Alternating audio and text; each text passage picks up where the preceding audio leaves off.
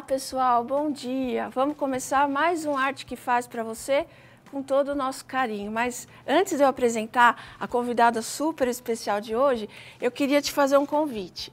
Nós do Arte que Faz, nós queremos ver o seu talento, conhecer o seu talento. Então você que faz qualquer tipo de técnica de artesanato, seja lá patchwork, biscuit, pet appliqué, o que você fizer e fizer um trabalho bonito, tira uma foto do seu trabalho e participa da nossa promoção Eu que fiz para o Arte que Faz. Aí é fácil, você tira uma foto, mas assim, de boa qualidade, capricha aí na foto e manda inbox para a nossa página lá do Facebook, para a página do Arte que Faz, pro, e escreve lá Eu que fiz para o Arte que Faz, com todos os seus contatos. Aí você pode mandar até dia 31 de outubro e a gente vai escolher os melhores, a equipe do Arte que Faz, e durante o mês de novembro nós vamos colocar na página os melhores para ir para votação. Então, o mais curtido, aquele trabalho mais curtido lá no final de novembro, a gente vai dar o resultado. O trabalho mais curtido vai vir aqui, fazer o passo a passo desse trabalho aqui comigo no Arte que Faz. Então, se você achar que você é tímida, não tem muito jeito para vir no programa, não tem problema. A gente apresenta o seu trabalho, você pode escolher também uma artesã que você goste muito para te representar aqui. Ela vem aqui, fica no seu papel, mas com você aqui também, tá? Então é uma oportunidade da gente se conhecer e de conhecer o seu talento do Brasil todo, conhecer o teu, seu talento. Então, participa, tá? Manda até dia 31 de outubro. E agora falando, na, falando em talento, a nossa convidada de hoje tá, não vi a hora dela vir porque ela é mais do que talentosa e mora aqui no meu coração, que é a Ana Idalina.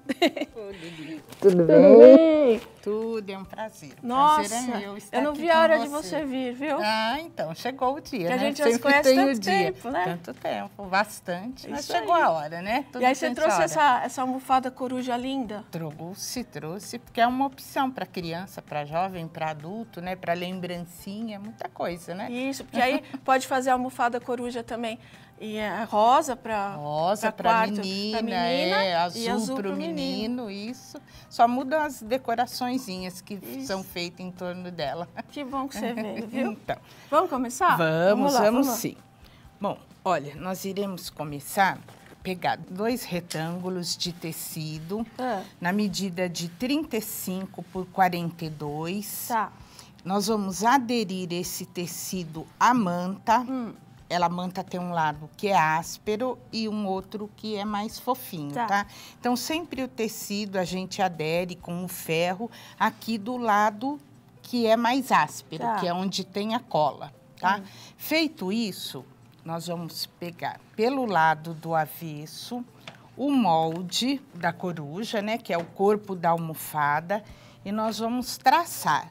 Tá traça toda a volta aqui, olha. Normal. E, normal. E sobre ela nós vamos passar uma costura, hum. tá? Essa costura vai fixar a manta no tecido para que a gente depois possa fazer a montagem. Nós vamos pegar e preparar as outras partes. Da mesma forma, hum. eu vou pegar manta, só que dois tecidos agora, tá? Direito com direito. Faz o sanduichinho. O sanduichinho. Tá. Vou traçar também com a ajuda do molde. O pessoal presta atenção um pouquinho aí. Pois assim, o lado que a manta vai ficar é hum. o lado que o tecido fica mais estruturado. Ah, então tem que prestar atenção é, nisso. então tem que tá. prestar atenção nisso. E Eu... os moldes, preciso falar que o é, molde, sim. a lista de materiais e os contatos da Nidalina estão tudo lá no nosso site. Isso, então, a gente colocou www.artequefaz.com.br e confere tudo. Isso, os moldes direitinho. A única coisa que eu gostaria, assim, de explicar é essa parte. Hum. Então, quando eu traçar uma asa que vai sair de um lado, eu viro o molde para sair do outro.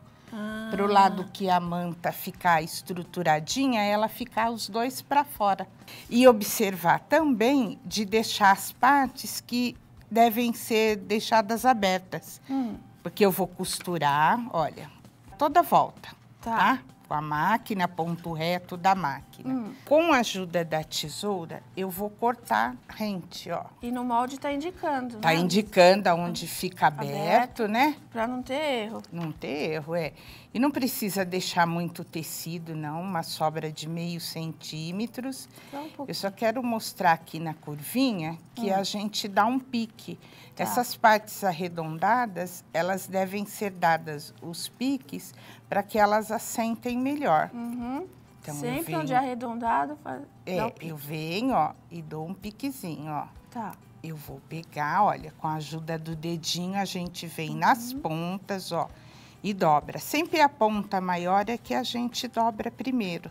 Tá. Porque se não dobra assim as menores e a maior fica lá no fundo e a gente às vezes não consegue dobrar e ficar pontudinho bonitinho. Então né? com ajuda, né? É. o dedinho ajuda, depois o ferro, né? Eu sempre digo assim, que o ferro é o melhor amigo melhor... da costureira, né? Não tem como. Ferro e alfinete, Prontinho, vai. ferro e alfinete, é. Então, virei, olha, eu venho, vinco, mais uma vez o ferro, olha, ele já fica, tá vendo, aderido, a manta direitinho, e vou passar um pesponto. Tá. Que é essa costurinha, né, Lili? Geralmente é meio pezinho de máquina. Tá. Para que o pesponto... É, tá. simples. Tem pessoas que gostam de usar o decorativo, ótimo, porque você tem que explorar a máquina ao máximo, tá. né? E o que ela te proporciona. Faz o que ela preferir. Isso, que preferir um pontinho, a escolha dela. Tá. Seguinte, a gente vai preparar o bico. Da mesma forma, eu passei as medidas cor. direitinho, tá? Lá no passo a passo estão as, estão as medidas direitinho Isso. de quadrado, retângulos, que é devem acompanhar. ser. É, só acompanhar. Lê com calma, paciência, Isso. devagarzinho, que entende, né? Pega o molde, ó, bem identificado, onde Bico. a gente vai deixar aberto, tá? tá vai traçar e costurar. Tá. Deixou aberto. Então, a mesma coisa. Mesma coisa. Eu vou cortar aqui, ele já tem um canto. Lá era uhum. curva, aqui nós temos um canto. Olha, nesse canto, eu dou uma chanfradinha. Tá, chanfradinha é... Essa costura quebrando picotada. o tá. bico, né? Porque na hora de virar aqui, ó, a ah. gente também, com a ajuda do dedinho, ó, o lado mais grosso, tá vendo? Porque afinal venho, é o bico, É né? o bico, é. Senão a gente não consegue que ele fique bicudinho. Tá. Ele fica, em, olha, tá vendo? Ele vira e fica bem bicudinho. Uhum. Né? Então, eu viro da mesma forma, passo, sempre, sempre passando. depois que você faz isso. Sempre que eu viro, Vira. corto, sempre o Passa ferro. o ferro. Você ele passa fica, o pesponto, passo, né? né? Ele ficou grudadinho, eu venho, passo o pesponto. Então, nossas asinhas asa e o, bico. e o bico, né? Agora nós temos as patinhas. Até aqui todos são quase o mesmo passo. Uhum. Tecido direito com direito, a mantinha embaixo, uhum. né? Tracei e aqui eu delimitei aonde eu vou deixar aberto. Comecei, olha, eu posicionei os dois no, no, no mesmo local, hum. porque depois eu vou colocar essas patinhas para o centro, Tá. para não aparecer Hum. nas laterais que foi feito à mão. Hum. Se bem que o pontinho que a gente usa, ele some, né? Ele é, É. bem delicadinho, ele some. Risquei, cortei, né? Vou cortar da mesma forma que eu cortei as outras peças. Só que esse, eu depois de cortado, virado, eu vou encher. Eu vou pegar o plumante, aquele que todo mundo conhece, que é para encher boneca, bichinho, né? E vou aqui, ó. Eu vou deixar o pezinho um pouquinho mais fofinho. É aquilo, né? Precisa saber a quantidade para não ficar nem. Isso, é, não Muito muito. É, geralmente a gente não deixa assim muito estufado, não, que fica feio depois até para colocação, né? Então eu vou colocando, eu uso a tesoura mesmo, olha, É, e vou distribuindo, só Tá. para dar aquele, né? Um fofinho, ó, não fica muito duro. É, fica médio. É médio, né? Outra coisa que eu gosto, assim, é de usar sempre a linha da mesma cor do tecido que eu tô trabalhando. Esse é o pontinho invisível, Lili. Aqui, ó, na frente, eu falo assim, caminha um pouquinho e sai. Ó, É que muita gente perguntando É. o que seria esse ponto é, invisível. venho na frente, olha, caminho um pouquinho do outro lado e saio. Tá mostrando bem, ó. É. Olha, na frente, pego, saio um pouquinho, caminho um pouquinho. Eu falo para as meninas, é. caminha, né? Um do lado do outro e vai caminhando. Costumo dar uma laçadinha, hum. bem na costura coloco por dentro e caminho lá na frente, ó. Aí que eu vou cortar. Tá Aqui, tá vendo? Tá. É. Fechou, rematou. É, isso. Aí eu corto, olha, ele andou um pouquinho, né? Caminhou, aí. Tá. E aí fica escondidinho. Tá, tá pronto os pezinhos, né? Tá. As patinhas. Seguindo, nós vamos agora para a parte que a gente vai usar o termocolante, hum. né? Que é, são os olhinhos e a pupila dele. Então eu pego, acho que todo mundo conhece o termocolante, né? É, é um papel que serve para a gente fazer a aplicação. Já é bem, já bem conhecido. Bem conhecido, né? E todo mundo adora, né? Oh. Que facilitou é. bastante a vida da artesã. Nem falha. Então eu venho com o molde, eu vou traçar sobre o termocolante. O círculo. É, tá. o círculo, o molde mesmo. Aí eu venho ao redor e vou cortar deixando uma margem de meio centímetro, toda Sempre a volta. tem que deixar. Sempre, porque aí quando já colou no tecido, ah. nós vamos recortar e cortar bem sobre o tracejado. Hum. Isso não deixa com que a ponta do trabalho fique sem cola, uhum. tá? Então eu já escolher uma parte que a, a, cola dá uma esparramada a hora que você Sim. passa o ferro. Então, é certeza que vai pegar. vai pegar. Evita que desfie a hora que você está fazendo o caseado, tudo, né? Então, por isso que a gente deixa essa margem. Olha, ficou coladinho com ferro. Outra coisa também, Lili, hum. a gente não pode deixar o ferro muito tempo, porque queima o, a é. cola, é um plástico, não deixa. É. Nem, nem muito tempo e também e, não é muito nem muito pouco. É, é não, porque temperatura é temperatura também. alta, é porque ele queima e depois acaba o, o plastificar é. daquela cola que gruda no tecido, Você né? Perde, né? É, perde. E fica bem duro. Fica. Não dá para reaproveitar o tecido, não. Quanto olha, mais ou menos assim de tempo? Olha, uns três segundos. Se for três? é o, o importado, uns três segundos basta. Você pode contar três. O nacional, ele já demora um pouquinho mais. Depois você vem, olha, e vai cortar bem sobre o traço. Aí o tecido vai, a, o papel vai estar tá aderido ao tecido, né? Hum. Aí você vem, ó, esse aqui é o importado, você vai... Não, não é importado não, é o nacional. Não? É, esse eu usei o nacional, porque você já tira, ele já está com a cola, né? A gente tinha o probleminha do ferro aqui, né? Muita coisa para carregar. É. Então, eu falei assim, não, eu vou levar o nacional. Nessas horas, ele é excelente. Mas aí agora é só... Só tirar, só tirar, né? E ele já adere tá ao bom. trabalho, tá bom? Tá. Olha, a mesma coisa eu vou fazer com a pupila. Uhum, Mesmo procedimento. Tá. Recorto, né? Venho, Aí, vamos ver se esse já sai. É. Então, no passo a passo por escrito, tem... Tem tudo direitinho, explicadinho, a ordem, né? a ordem, tudo. Terminamos, a gente vai fazer a carinha da coruja. Você vê que são dois passos ali do bico, patinha, do mesmo uhum, jeito, e depois aqui. Tá. Que vem os olhinhos, o rostinho, né? Olha, mesma vamos, coisa, vamos eu vou ver riscar. como é que é a carinha. É, olha, eu venho, risco do, na mesma forma, hum. passando traço, recorto, deixando os meio centímetro, ó. E como o coruja tá fazendo sucesso, Bastante, Deus, né? é, o pessoal gosta, é chaveiro, é o apliquê, ainda é. tem uns tecidos de coruja que são, né? Em tecido, tá Ninguém resiste. Tá tudo, né? é. Vou colar tá. mesma forma e recortar. Hum. Aí sem medo, vai no Sem medo, olha, venho, tá recortado. Hum. Agora eu vou montar coruja tá? Depois o corpinho tudo, dela é. Todos os processos. Todos os processos eu acabados, vou terminados. Vamos a gente para montagem. Nós fizemos todas as partes da corujinha, nós vamos montar agora o corpinho dela, né? Só um pouquinho que eu preciso dar um recadinho especial e a gente volta tá aqui bom. na coruja, tá? tá ok. Para vocês que adoram fazer lindos bichinhos, como essa coruja encantadora que a gente está apresentando, vocês não podem perder nenhuma edição da revista de feltro da editora Minuano.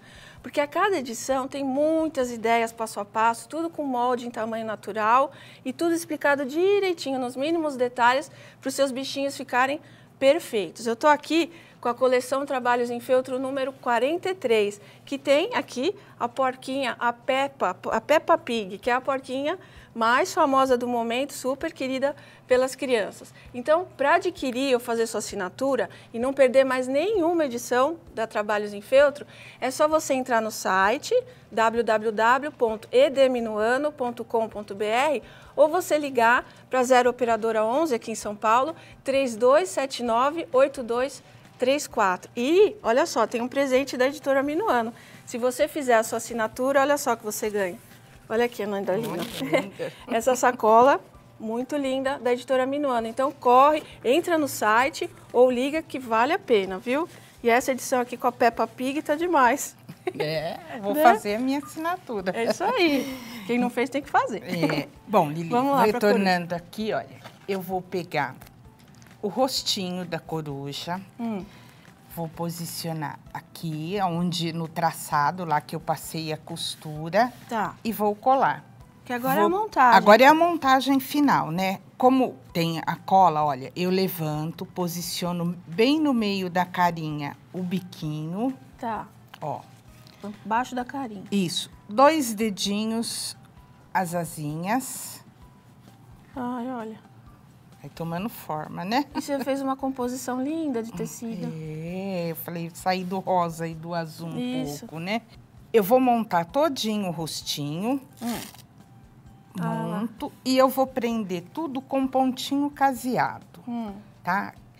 Pode ser a mão, pode ser a máquina, e a pessoa escolhe como ela vai fazer, né? Tem aquelas pessoas que não têm a máquina, podem montar e fazer à mão, né? O pontinho caseado. O caseado tem... é fácil. É fácil, é.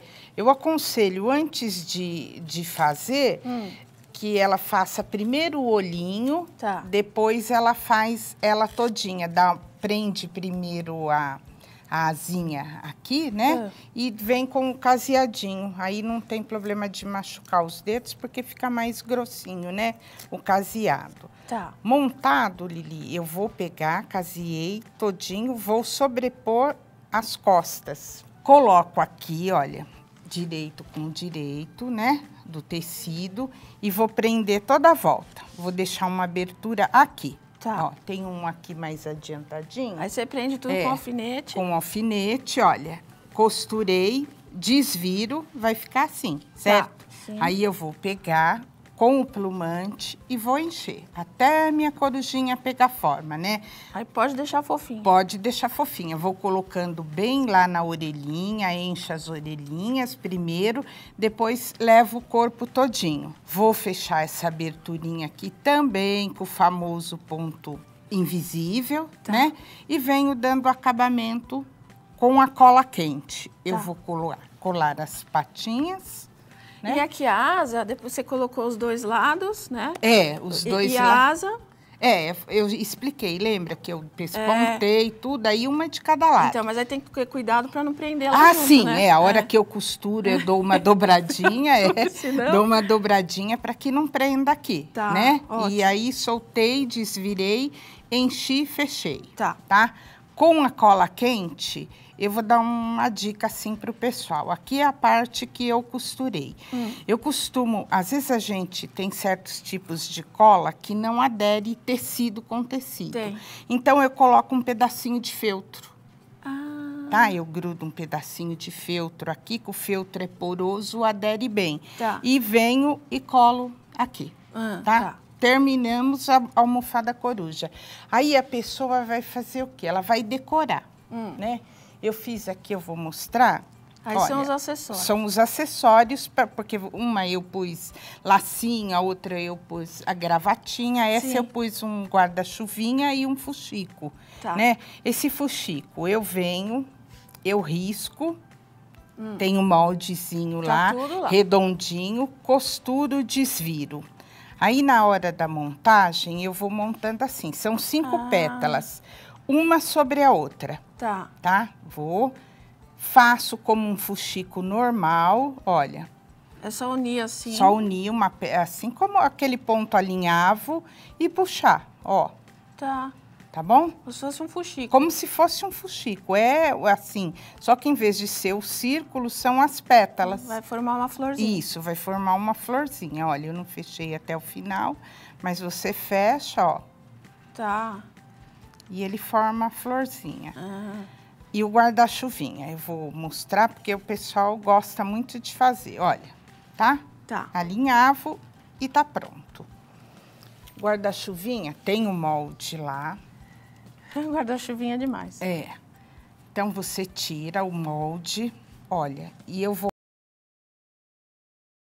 Esse é um gripirzinho, né? Tá. Pode ser uma rendinha, cianinha. uma cianinha, o tá. que a pessoa tiver, né? Aí eu vou riscar no centro um círculo com uma moeda de 25 centavos. Tá. E vou é alinhavar em volta. Ah, é. Tá. E aqui eu vou prender só as pontas, olha. Hum. Tá vendo? Ah, aqui tá só é, pontinha. só a pontinha, olha, fiz só um pontinho aqui. Pra depois, é o hashi, tá? O famoso hashi, hashi. que você pede para os netos é. pegarem bastante. olha, japonês. É, e vou puxar. Tanto aqui, ó. Eu vou puxar, dar um nozinho ah, tá, embaixo. Tá, é, ó. Você passou toda toda a, a linha, linha como se fosse o fuxico também, né? E aqui, olha, também. Deixei, ó, passei a linha naqueles cantos, olha. Você só fechou no só, rachi? Só fechei no rachi. Tá. Aí, tá? Aí ele vai dar a pontinha aqui. A outra ponta. Isso, ó. Ah. Eu puxo, aí. Ah. Aí acerto, né, os gomos do guarda-chuva. Ficou bem fechadinho. Fechadinho. Depois eu dou um, uma pontinha de cola. Tá. Tanto aqui, olha, posso fazer lacinho. Ah. acerto aqui, faço um outro fuxiquinho aqui em cima, olha, e tá pronto então, o guarda-chuvinha, guarda Só lindo. ajeitar, cortar as linhas, né? Eu decorei com um lacinho outro também, grudei aqui, mas essa é a ideia do guarda-chuvinha. Que lindo. É, e aí... quando é, quando é o, o, o machinho? É, eu fiz a gravatinha. Faz a gravatinha e é, tal. É, aí você pode fazer botãozinho imitando uma camisa, né? Aí vai da criatividade do pessoal, né? Que a gente começa, faz o básico. Aí Sim. a imaginação vai longe, né? Então, você tem um monte de trabalhos nas revistas da Minuano, na Arte Fácil Patchwork.